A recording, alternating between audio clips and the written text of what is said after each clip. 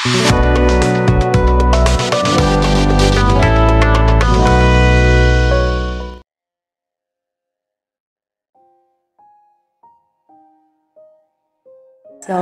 selamat pagi, selamat berjumpa dalam renungan harian Toraya Kamis tanggal 6 April 2023.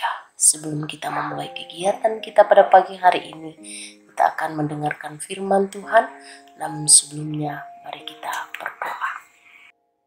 Kembali ya Tuhan, di pagi yang indah ini, kembali kami datang menghampiri Engkau Bapa dalam takhta kekudusanmu. Seraya mengucap syukur limpah terima kasih kepadamu atas segala kasih penyertaanmu semalam lamanya Tuhan telah menyertai kami sampai hari ini Tuhan. Kami kembali dibangunkan dengan tubuh yang penuh kekuatan daripadamu sebelum kami melakukan kegiatan kami Tuhan kami akan mendengarkan firman-Mu. Tuhan berkatilah kami biarlah firman-Mu yang kami dengarkan. Kami boleh pahami kami mengerti karena Tuhan Yesus yang berkati kami. Terima kasih Tuhan. Ini doa kami. Dalam nama Yesus kami berdoa. Amin.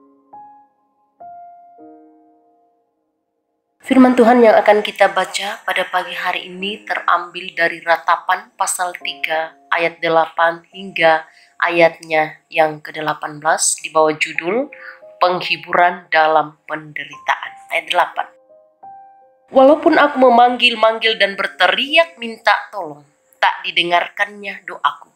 Ia merintangi jalan-jalanku dengan batu pahat dan menjadikannya tidak terlalui.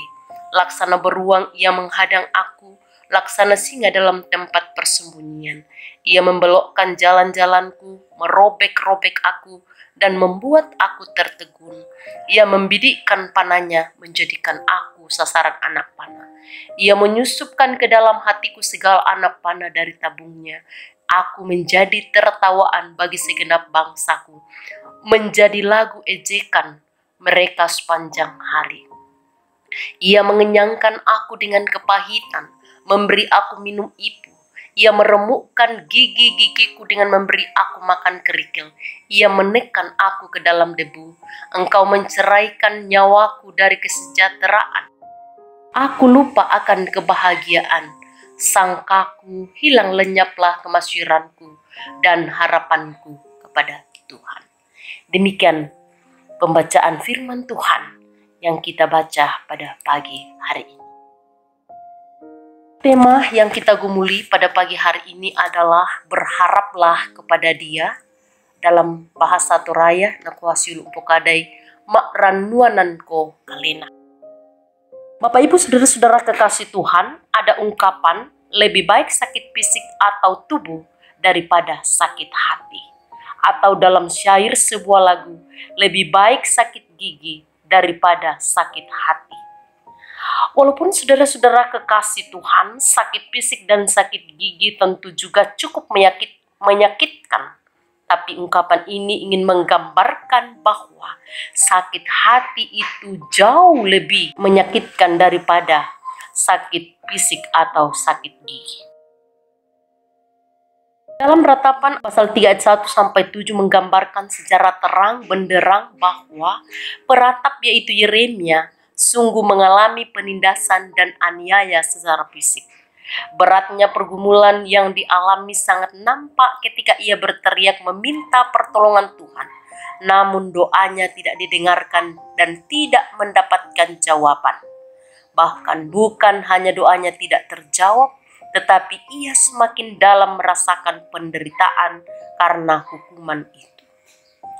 Ia merasakan kesakitan, bukan hanya fisik tetapi juga batin. Dalam ungkapan kepedihan hati, ia membidikkan panahnya, menjadikan aku sasaran anak panah. Ia menyusupkan ke dalam hatiku segala anak panah dari tabungnya.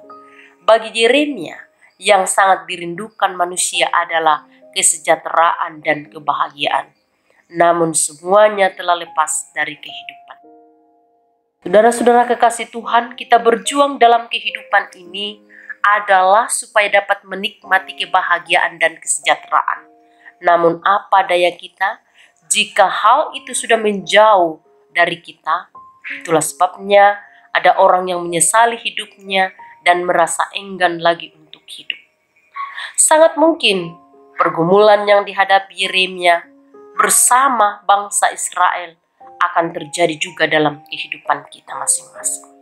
Jangan lupa bahwa kekuatan, penghiburan, semangat, bahkan kelepasan hanya dapat diterima dari anugerah Allah. Hanya kesetiaan kepada Allah kita luput dari kepenghukuman. Yakinlah bahwa Tuhan akan mendengarkan doa dan keluh kesah kita semua. Amin.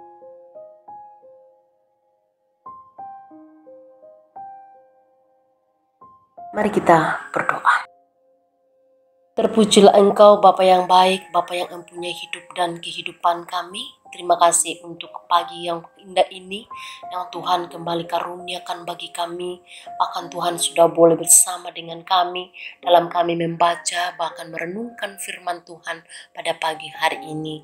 Biarlah kiranya Tuhan memberkati kami sehingga firman-Mu yang sudah kami baca, kami renungkan tidak akan berlalu begitu saja, tapi sungguh-sungguh Tuhan boleh mengambil bahagian dalam kehidupan kami untuk kami jadikan sebagai pedoman dalam melangkah menjalani kehidupan yang Tuhan masih anugerahkan bagi kami.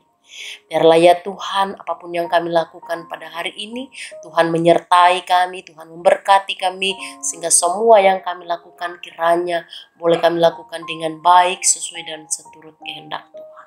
Terima kasih Tuhan, ini doa kami. Amin.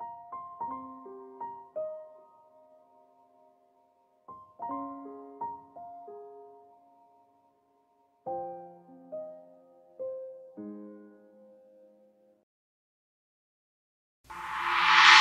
you.